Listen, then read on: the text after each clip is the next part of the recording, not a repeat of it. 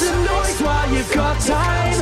Take this poison for your mind. Who knows, you could be gone by this time tomorrow.